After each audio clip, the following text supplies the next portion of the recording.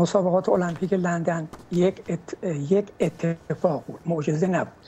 نسبت به زحماتی که در چهار سال گذشته به طور مستمر انجام شد هرچی بکاری بدرد نتیجه شو گرفت.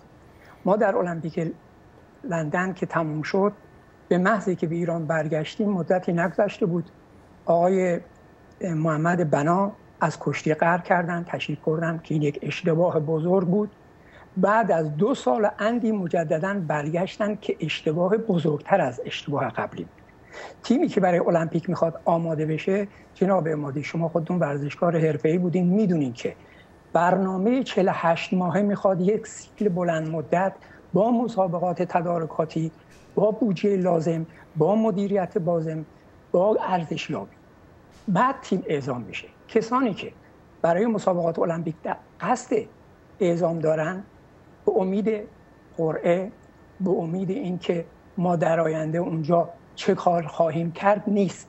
کسانی موفق میشن که صد درصد آیتما رو رعایت کرده باشند و موقعی که با مسابقات وارد میشن داوری هست که شما دیدین اجحافی که امسال در مسابقات ریو به ورزشکاران شد در هیچ المپیکی نشده. به حق باید جمهوری اسلامی تیمی شده در این مسابقات شرکت نده. چون هرچی داد و فریاد کرد کسی به جای گوش نداد.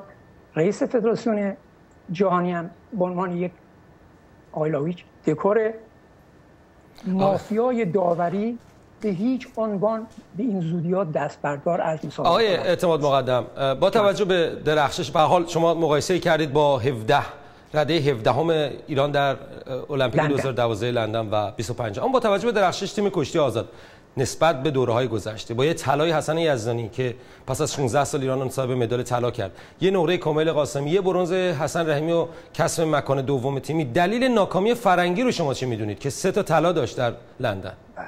همونطور که 6 ماه پیش در خدمت شما برنامه شما پخش کردیم تو آرشیودون هست.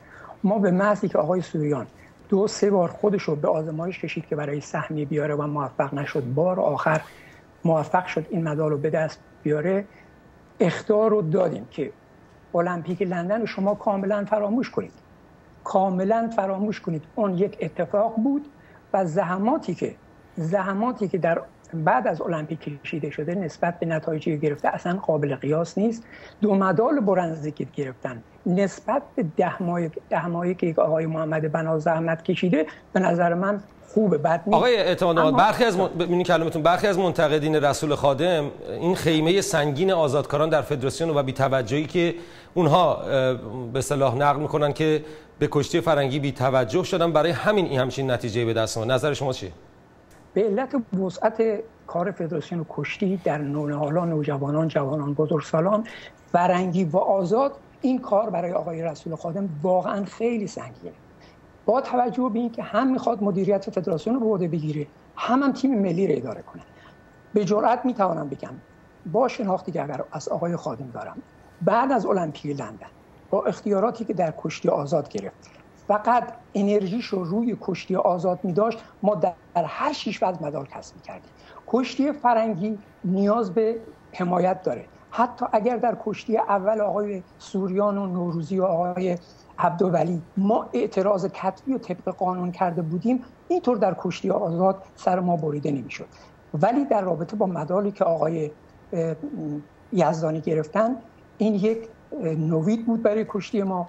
دقیقا مثل مدالی که خانم کیمیا علیزاده به دست آورد ده. این فرد می‌تونه در آینده برای ما چندین مدال المپیک رو کسب کنه و ما بعد از 16 سال موفق شدیم مجددا در کشتی آزاد مدال طلا بگیریم که این خودش تبریک داره حالا وزن برداری ایران به حال چون گذشته از کشی شما سالیان مختلف در رده های مختلف و دوره های متفاوت با تیم ملی در المپیکا رقابت بود. وزن برداری ایران در این دوره هرچند قربانی داد حال دست بله. بهتر سلیمی از مدال کوتاه موند. ولی با دو مدال طلای کیانوش رستمی سهراب مرادی خوش درخشید. دلیل اون چی بود؟ نبودن آقای رضا بود در فدراسیون و یا اینکه خب. آقای کوروش باقری چون نیست یا اینکه به دلیل نبودن روسها سوال جالبی بود.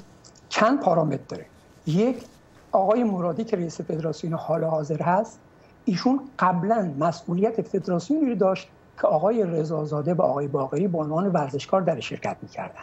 مدت ایشان به هر عللی کنار بود. آقای رضازاده اومد بعد از آقای رضازاده مجددا ایشان به شورای شهر رفتن. مجبور بودن که از پست خودشون استعفا بده. کار دست کاردان افتاد. سرمربی خودش در سطح المپیک. مربی با تجربه بالا و بچه ها اون استرس قبل رو نداشتن. یه مقدار دموکراسی و فرما بود و خدا هم کمک کرد و این مدال رو به دست آورد. ولی کاری که آقای آقای جلود جلاد عراقی به سر وزنه برداری ما آورد تا سالهای سال اون داغش روی دل ما حالا خیلی فرصت کم هست کیمیا علیزاده با کسب مدال برنزش در تکواندو هم ناکامی مردان رو در واقع به نوعی پوشش داد و هم اولین مدال زنان ایران رو در المپیک گرفت و تاریخ ساز شد. موفقیت او آیا آغاز یک دوره شکوفایی ورزش بانوان خواهد بود در ایران یا اینکه این کیمیای تک ستاره بود که برای سالیان دراز دیگه تکرار نمیشه؟ این کیمیا تاریخ ساز شد.